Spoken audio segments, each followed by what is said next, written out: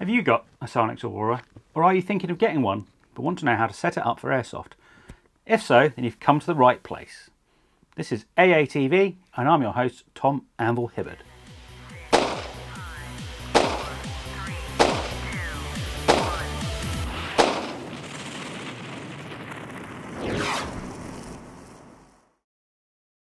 In this episode, we're going to talk about how to set up your SiOnyx Aurora.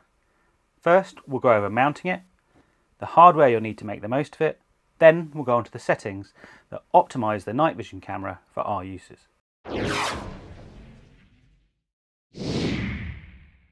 Here is my helmet setup. This is an FMA fast helmet with an upgraded shroud, comfort pads and suspension straps. I also have an IR illuminator mounted to the side. We'll go over that later. The SiOnyx camera itself is attached to this prototype Lions Gear Solutions MACHOS bridge that I've been testing. They've now released the production version. This incorporates feedback from myself and some others.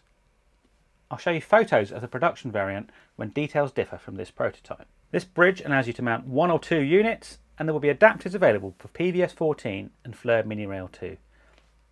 You can see some of the prototype mounts here. I've currently got one Aurora mounted so I've taken one of the arms off to save just a bit of weight. You can adjust how far the unit is out from the centre to suit your eyes. This is known as pupillary distance.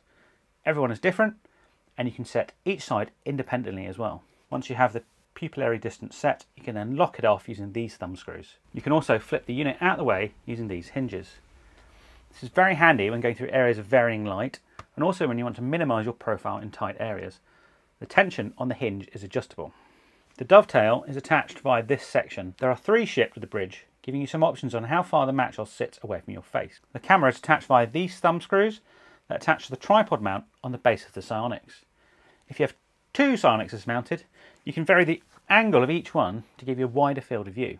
If you don't need the flip up feature, there's also another bridge called the Fast. This also features side independent adjustable pupillary distance. In this case, it's via these large thumb dials on the ends my SiOnyx also has this Aspis lens protector on the front and this top hat adapter on the back which can take a PVS 14 style rubber eye cup to reduce your light signature. Head over to Lions Gear Solutions to get yours. If you're running the camera as a monocule, there is a decision to be made about which eye to position it over. This really is a matter of preference, and you'd be wise to try each one before making a decision. For passive use, when you're looking through a night vision compatible red dot optic, you'll need to put it over your dominant shooting eye. However, if you intend to use IR lasers to aim, then you can use the non-dominant eye, giving you some options.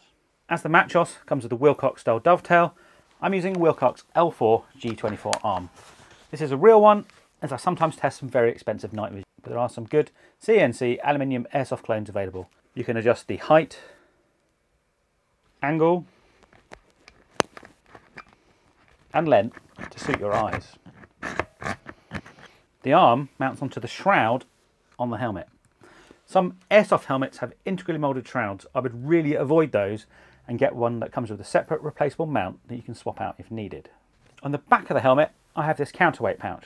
When I'm running the SiOnyx or a GoPro, I use this to store a power bank to help with the runtime. This connects with a USB cable run underneath my helmet cover right up to the unit. If you're going to be playing in really dark areas, you might also want to consider mounting an IR illuminator onto your helmet like this one. The SiOnyx, like all light amplification devices need some ambient or artificial light to operate. Sometimes there just won't be enough light around and you'll need to provide that yourself. IR light is invisible to the naked eye that will show up like a torch to other night vision users.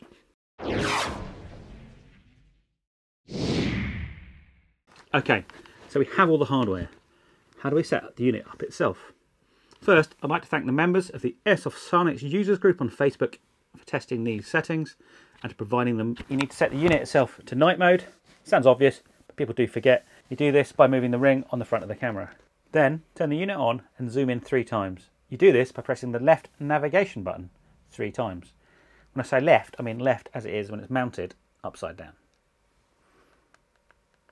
This sets the image and displays it approximately one to one scale. It will reset every time you turn the unit off, so you will need to do this every time you want to use the SiOnyx as a night vision device. Turn the dial to the settings mode. To navigate the menus, you can use the up and down buttons and make changes to it using the side buttons and then moving up and down through the options. To confirm, press the centre button. Once you're in the settings menu, turn Wi-Fi off, turn GPS on if you have it, this sport does not. Set auto power to off, set chimes to off. Turn the audio to medium. Next, turn the dial to video mode. Click the centre navigation button. EIS off. This is electronic image stabilization and is a major cause of lag if left on. Change the frame rate to 30 FPS or 24 FPS if it's really dark. Running a lower frame rate will help lighten up the image, but it is a compromise with how jerky the image will appear. You may see some motion blur. For best performance, set the resolution to 360p. You might want to leave it at 720p if you're filming other sources of ambient or artificial light. Turn HDR off. Come back out of the menu by clicking the center button again. Then press and hold the center button until the hidden menu appears. Once you're in that menu, set your brightness to auto, set your overlay to all off, set your EVF timeout to never, set your night glow to color or grayscale if it gets really dark, set quick review to off, and set invert image to on. To change how much amplification is done to the image, you can use the up and down buttons. I do tend to leave this on zero, but you can find out what works for yourself. These settings all help reduce lag and gets the maximum sensitivity out of the sensor. If you are going to run a power bank, get the unit powered up before you connect the cable and then power up the external power bank. Then there's one last thing we need to do with our SiOnyx Aurora before we use it. There are a couple of little external LED lights which indicate when it's recording and what function you're in. You need to cover those up with a small piece of tape for this, I'm using this green duct tape, which doesn't let the light show through. Once that's done, we're ready to go.